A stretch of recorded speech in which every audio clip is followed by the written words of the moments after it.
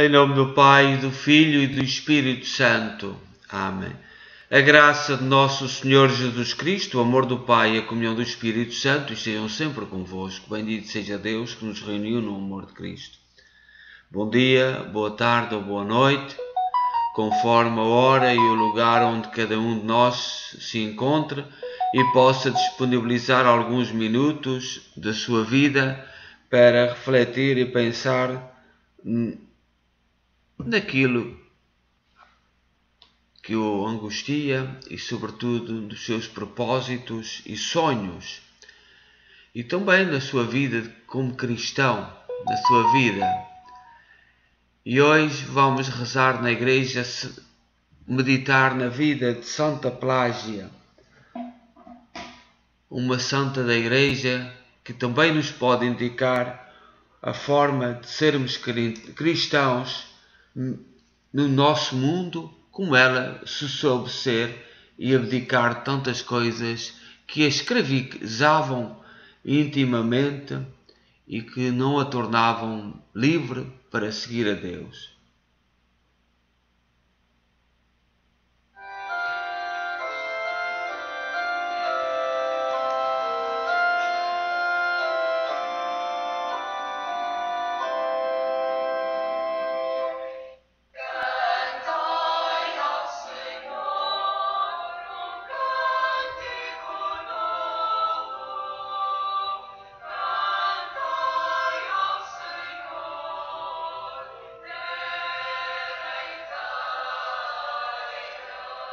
Solícitos e puros, os anjos são fiéis, mensageiros de Deus e da Sua palavra.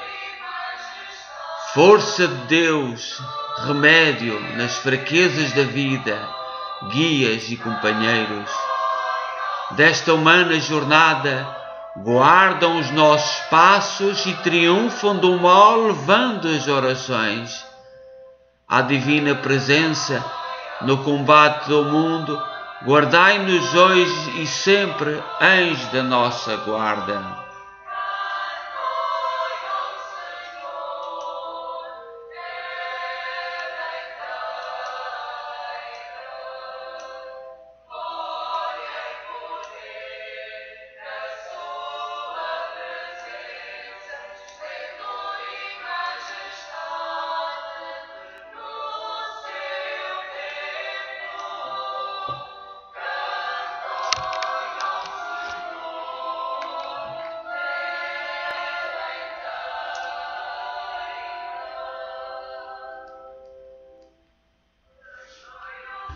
Do Evangelho Nosso Senhor Jesus Cristo, segundo São Lucas, capítulo 11, versículo 15 a 26. Naquele tempo Jesus expulsou um demónio, mas alguns dos presentes disseram: É por Belzebu, príncipe dos demónios, que ele expulsa os demónios. Outros, para o experimentarem, pediam um sinal do céu. Mas Jesus, que conheceu os seus pensamentos, disse: Todo o reino dividido contra si mesmo acaba em ruínas e cairá casa sobre casa. Satanás está decidido contra si mesmo. Como subsistirá o seu reino?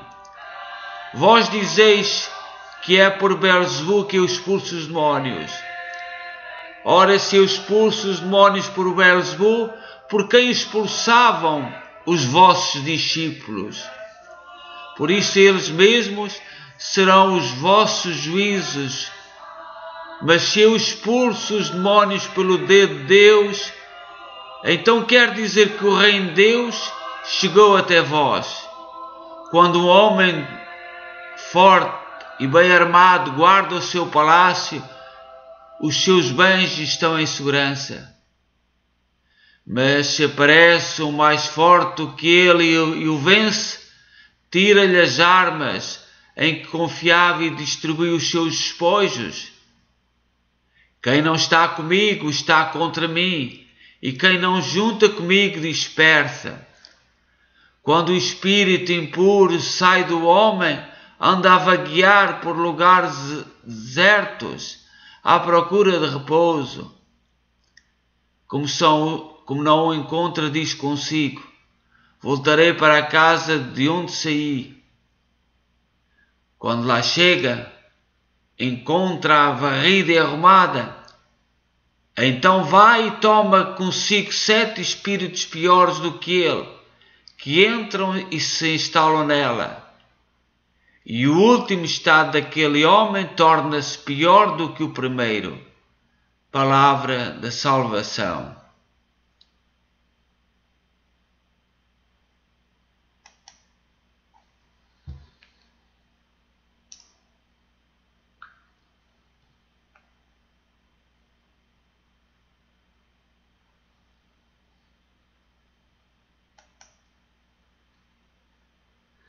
Santa Pelágia penitente.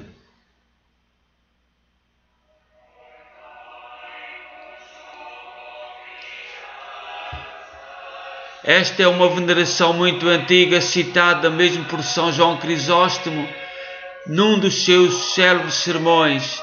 Sem dúvida, uma página cristã muito interessante, cujos ténuos registros estão mesclados pelas tradições orientais dos primeiros séculos. Originária de Antioquia, Turquia, Pelágia viveu no século III. Era uma bailarina belíssima, escandalosa, muito divertida, festiva e pagã. Costumava encantar e seduzir os homens com a sua dança, alegria, roupas, joias e outros ornamentos luxuosos que usava exclusivamente para essa finalidade. Com isso, tornou-se uma das figuras mais conhecidas da vida mundana e social daquela cidade. Além, é claro, de ter conseguido uma sólida riqueza e grande influência. Sua fama ultrapassava os limites do movimentado polo económico e social, pois muitos nobres ricos vinham apenas para poder estar com ela que cada vez mais aumentava as suas posses e poder.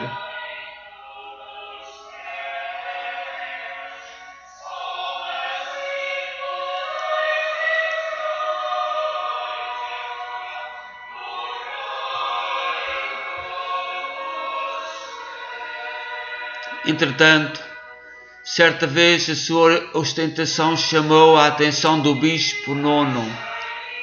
Foi durante uma procissão a exuberante bailarina assistia como se fosse uma, um simples espetáculo, numa atitude debochada e espalhafatosa. Ricamente vestida e cercada por alguns pretendentes, ela assistia a tudo cerca de que as atenções eram, na verdade, apenas voltadas para ela. O sábio bispo então questionou a multidão se uma mulher era capaz de enfeitar-se daquela forma para chamar a atenção de um simples homem mortal.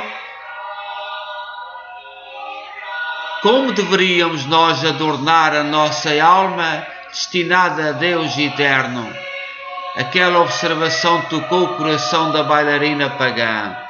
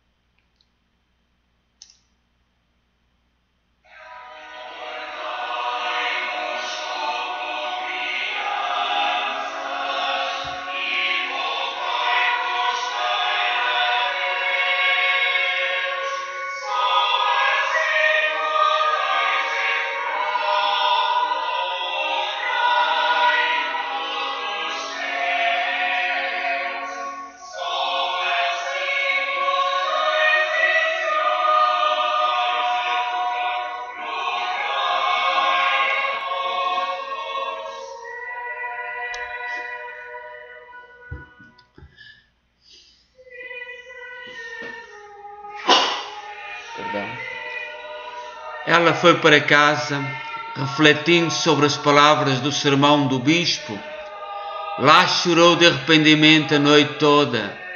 No dia seguinte procurou o bispo, que a enviou a uma senhora cristã para ser preparada para o batismo.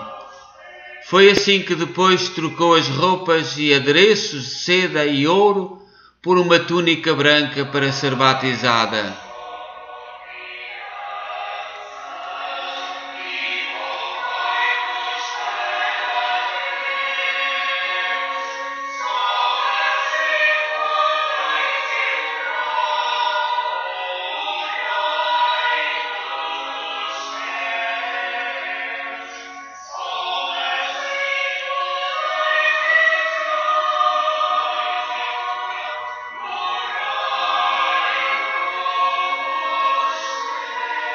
À noite, com a autorização dele, do bispo, Pelágia trocou sua túnica por uma de penitente e abandonou Antioquia.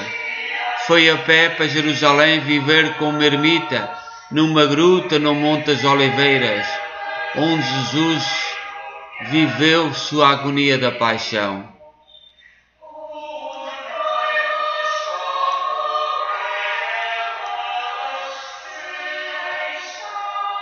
Uma das capelas do Oriente, procurada por estes ermitas.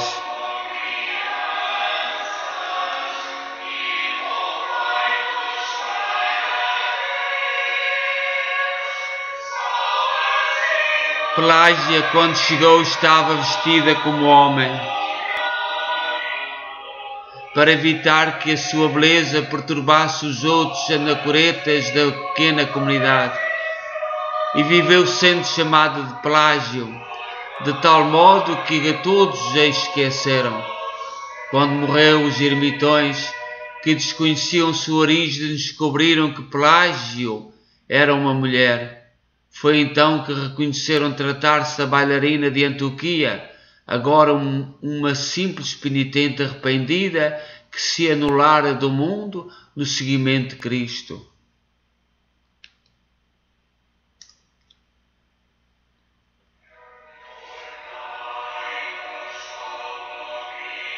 O seu culto e a sua história foram muito difundidos no mundo cristão oriental. Chegou ao Ocidente através das tradições trazidas pelos peregrinos que na Terra Santa também visitavam a gruta da Santa Pelágia Penitente. A Igreja autorizou esta tradicional devoção popular, mantendo o dia 8 de outubro a sua festa litúrgica. Santa Pelágia Penitente é considerada a padroeira dos cômicos e das atrizes.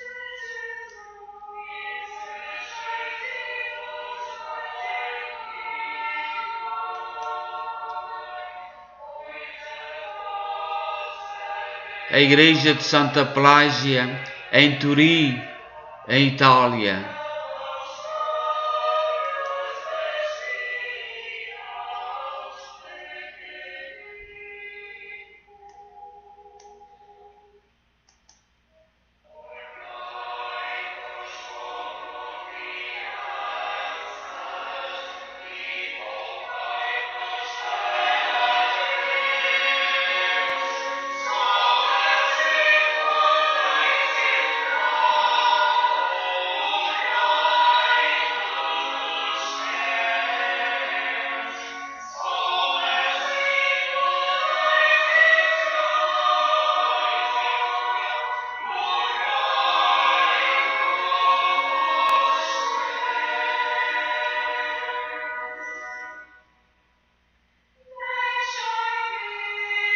Oração de Santa Pelágia. Deus nosso Pai, sede nossa luz e nossa direção neste dia. Velai por, pela nossa saúde e pela nossa paz interior. Ajudai-nos a sermos mais nós mesmos, mais gente, e assim encontrarmos a alegria e a paz interior.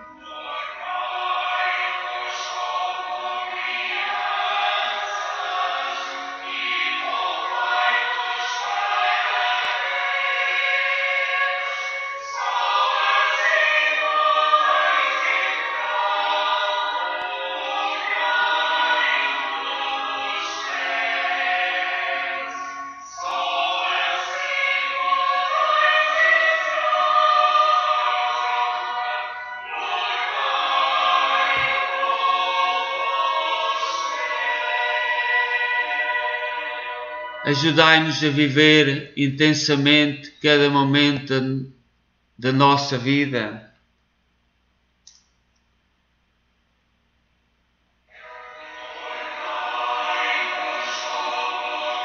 Sabendo que tudo caminha inexoravelmente rumo à unidade perfeita, nada é repetido, mas tudo soma no cumprimento do nosso desígnio de amor.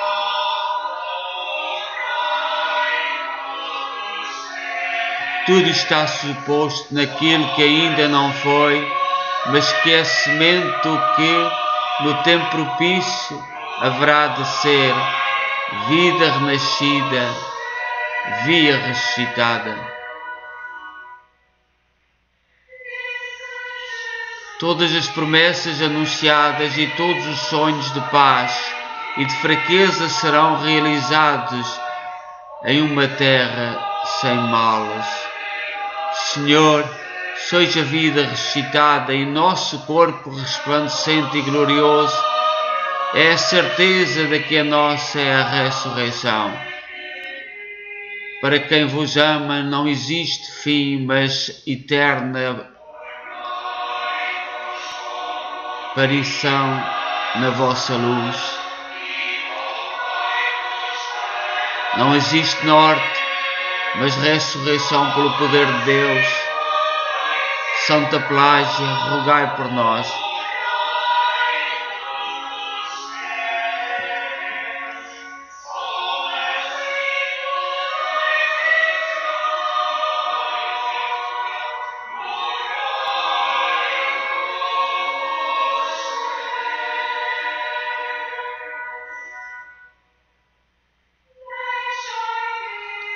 O Senhor esteja convosco, Ele está no meio de nós. Abençoe-nos Deus Todo-Poderoso, em nome do Pai, do Filho e do Espírito Santo. Amém. Que o exemplo desta santa nos faça pensar no que é essencial da vida e a voltarmos-nos para Deus, abandonar as seduções do mundo.